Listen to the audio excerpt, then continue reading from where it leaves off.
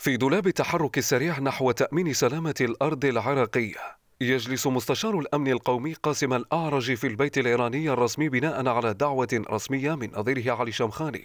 تتحدث مصادر صحفية عالمية عن تصدر اللقاء عنوان نتائج الحوار الاستراتيجي بين بغداد وواشنطن.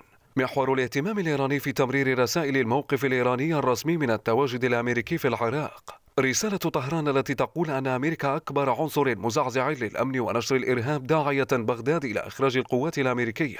لم تكن هذه الرسائل مصادفة أن تعلنها إيران صريحة على الملأ وتمررها لأكثر من مرة عبر قنوات الاتصال السياسي مع بغداد. من وجهة نظر البعض تعد تدخلا في شأن بغداد وعلاقتها الدبلوماسية مع الإقليم والعالم. تحاول إيران تأكيد عودة عناصر داعش باتهام مباشر إلى أمريكا ودعمها التنظيم. لكنها في ذات الوقت تقرأ على أنها تهميش إيراني في عدم الحديث عن ممارسات ميليشياتها المسلحة في العراق والمنطقة. محادثات رسمية بين الشخصيتين الأمنيتين حول قضايا ثنائية بين البلدين ومثلها إقليمية ودولية.